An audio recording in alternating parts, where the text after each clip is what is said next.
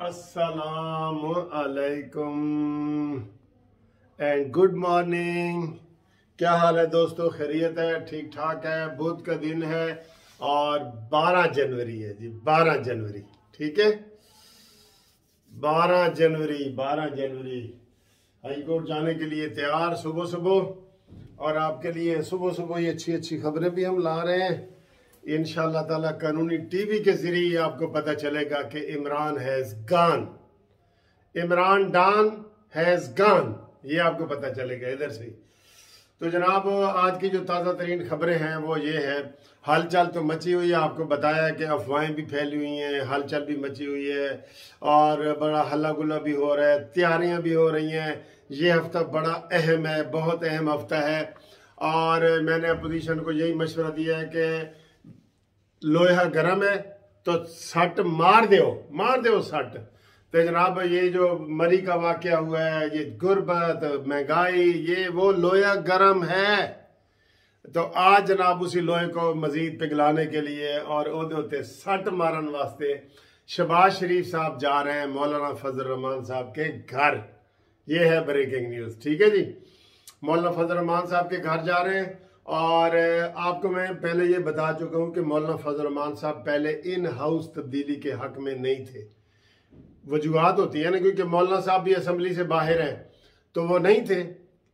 तो अब जो है, मौलाना साहब भी मान गए और इन हाउस तब्दीली के हक में मुस्लिम लीग नून भी नहीं थी। यार, इस बात की मुझे समझ अभी तक नहीं आती कि इन्होंने किए फ़ायदा इन्होंने ही होना है तो ये कहते हैं जी इलेक्शन कराओ इलेक्शन कराओ। इलेक्शन इमरान ने इसी सेटअप में करा दिए ना तो फिर आप आइंदा पाँच साल के लिए ऐसे रोते रहेंगे। अब तो हम कहते हैं ना, सर्दी लगे तो गो न्याजी, गो गो तो फिर हाथ मलते रहना है। तो इसलिए ये बिल्कुल इन हाउस तब्दीली करें। मैं आपको ये बता रहा हूँ ये पीपल्स पार्टी की भी यही ख्वाहिश है नून लीग की भी यही ख्वाहिश है, अब मौलाना फजल रहमान से भी की ख्वाहिश है। और अब मैंने रात भी बताया था कि आप जहांगीर तरीन का जो है ना, वो पलड़ा भारी हो गया, बहुत पलड़ा भारी हो गया, जंगीर तरीन का। ठीक है? तो मौलाना फजल रहमान साहब से आज उन्होंने ये तय करना है, स्ट्रेटजी तैयार करनी है कि जनाब किस तरीके से हम इस चीज़ को आगे बढ़ाएँ। और अभी ये मरकज का सोच रहे हैं। पीपल्स पार्टी की जो जो तजवीज़ थी ना वो ये थी कि हम पंजाब के जरिए मरकज जाएं पंजाब में पहले करें क्योंकि उस्मान बुजदार तो इमरान खान का से भी बहुत आगे है ना वैसे दोनों जी नैल ते दिल है ਕੰਮ ਦੇ ਹਿਸਾਬ ਨਾਲ परफॉर्मेंस के हिसाब नाल काम के हिसाब से परफॉर्मेंस के हिसाब से ये दोनों नैला और दैला है बुजदार नैला है इमरान खान दैला है इन्हों का नाम रख दो नैला दैला। ठीक है? पंजाब में भी तबाही मचा के रख दी हुई है। ये हाल पंजाब का कर दिए कि बारिशों के बावजूद भी हम एयर क्वालिटी इसकी ठीक नहीं हो रही। गंद जगह जगह पड़े हैं। इनको नज़र नहीं आते। नज़र क्या आते हैं? वो दिन वो इनका एक अपना हिमैती इसके उस्मान बुजदार का कह रहा था कि उस्मान बुजदार किसी मसले पे दो मिनट भी नहीं बोल सकता। उसके पास सलाहियत ही नहीं है, ना उसकी ट्रेनिंग है।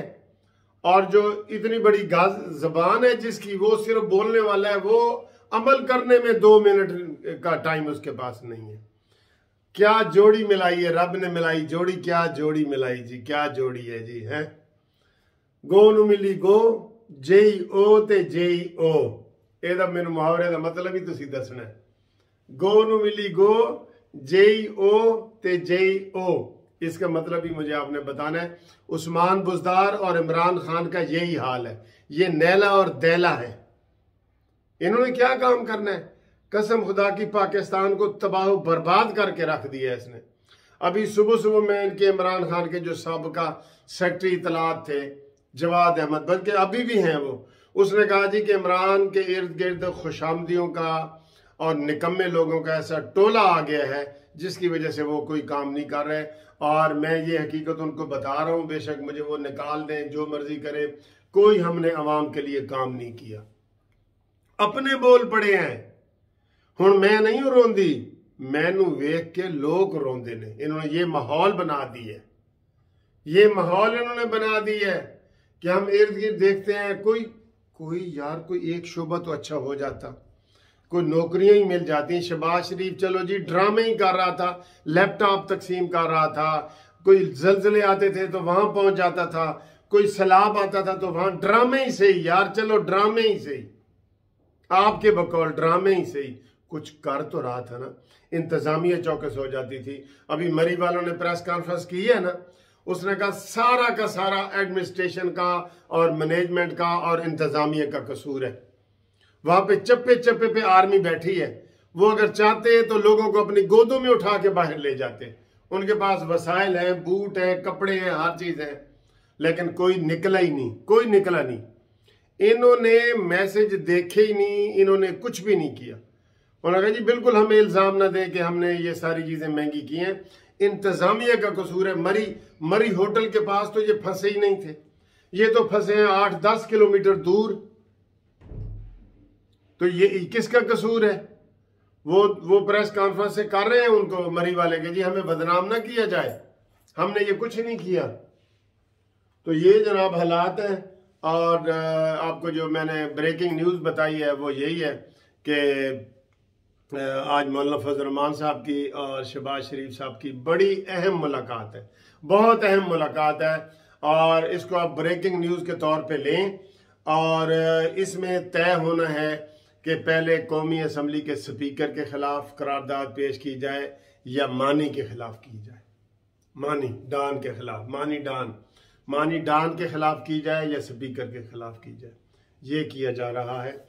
और ये इन्होंने कल खसूसी इजलास बुलाया है हकूमत ने मैं थोड़ा सा उसमें ऐड करना चाहता हूँ। हकूमत ने खसूसी इजलास बुलाया है इमरान खान ने, क्योंकि उसको जब वो सेक लगता है ना तो वो भागता है इधर उधर और पकड़ता है नून लीग वालों को। नून लीग का ही वो ज़्यादा खतरा उसको समझ में लगा हुआ है ना। तो उन्होंने कल कौमी, कल असम्बली के इजला, कल वफाकी कबीना के इजलास में ये तय किया है, फवाद चौधरी ने बताया आके कि जनाब हमने शबाज शरीफ के खिलाफ इस हफ़्ते पटिशन दायर कर देनी है कि ये जामिन था, ये वो। इनको डर, जितना जितने दिन करीब आ रहे हैं ना, ये अपनी फेस सेविंग चाहते हैं कि नवाज़ शरीफ आ रहे हैं ना, अब ये कहते नहीं जी, बुलाओ। भाई, आ रहे उसने खुद नवाज़ शरीफ साहब ने कह दिया, अपनी अपनी जबान से कह दिया कि मैं आ रहा हूँ। तो फिर फिर तुम क्यों कहते हो कि जनाब, हम उसको लाएँगे, हम बुलाएँगे, हम केस करेंगे? ये सिर्फ़ ड्रामे कर रहे हैं। नवाज़ शरीफ खुद भी आएगा ना, ये कहेंगे जी कि उतो वीज़ा खत्म हो गया सी। कब की ये बात कह रहे हैं? वीज़ा खत्म हो गया। मैंने पहले ही बता दिया था आपको कि नवाज़ शरीफ साहब का वीज़ा भी ठीक है, पासपोर्ट भी ठीक है, ये कोई मसले वहाँ पे नहीं है। वहाँ पे मसले होते हैं बुनियादी इंसानी हकूक के। बरतानिया को पता है कि नवाज़ शरीफ इधर आ रहा है तो उसको विक्टमाइज किया जाएगा। उसको जेल में डाला जाएगा और नजायज डाला जाएगा। नजायज। और अब कल की इनको एक और काम की पिड़कड़ी पिड़पड़ी पड़ गई है। वो जो सुप्रीम कोर्ट ने जो पटिशन तैयार की है कि जी ताहयात नैली इंसान, बुनियादी इंसानी हकूक के खिलाफ है। इसकी उनको पिड़पुड़ी पड़ गई है। ठीक है ना?